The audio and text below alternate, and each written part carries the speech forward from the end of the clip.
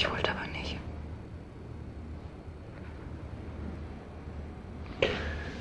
Und dann?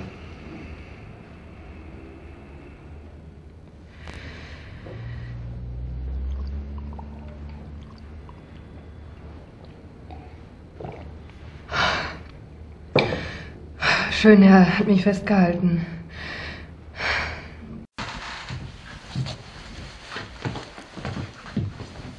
So wie unsere Ehe? Ich kann doch nichts dafür, dass du keinen Job hast. Nee. Aber du könntest vielleicht. Oskar, ich will jetzt wirklich nicht mehr darüber reden. Ich habe ein wichtiges Meeting in der Handelskammer. Aha. Wieder mit diesem Krüger, nehme ich an?